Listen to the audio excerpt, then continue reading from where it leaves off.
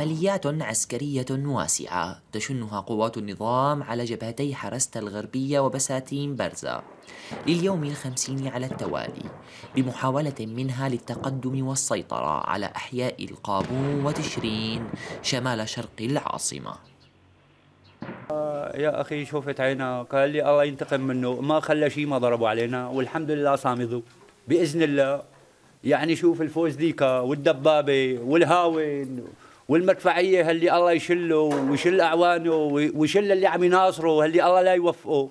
خرب بيوت العالم. شو مساوي له؟ لسه نازل فينا سفق سفق اللي الله لا يوفقه.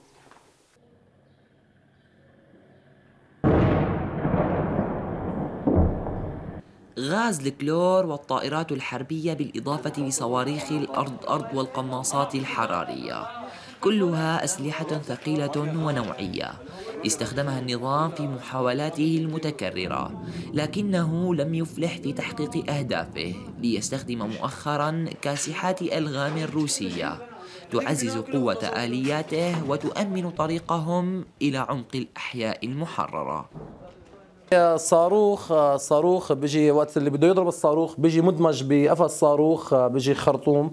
هي تعمل فيها هون وتعمل فيها بالقطاع الغربي بالغوطة الشرقية بمنطقة جوبر.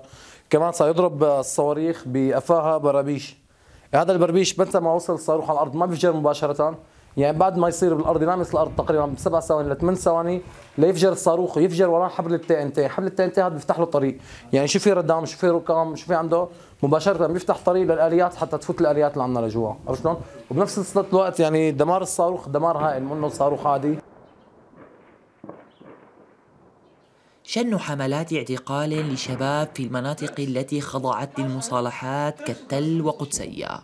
وزجهم في المعارك قاعدة يرتكز عليها النظام بعد الخسائر الفادحة التي يتكبدها يوميا على مختلف الجبهات. محاولات يومية لقوات النظام للتقدم والسيطرة على جبهات الأحياء الشرقية للعاصمة دمشق مدعومة بمئات الصواريخ والغارات. إلا أن كتائب الثوار تحافظ على مواقعها وتفشل تلك المحاولات موقعة عددا من عناصر النظام بين قتيل وأسير.